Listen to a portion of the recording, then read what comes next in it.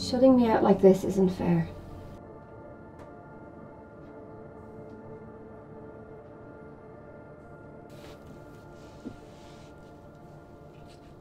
It's not just the two of us anymore.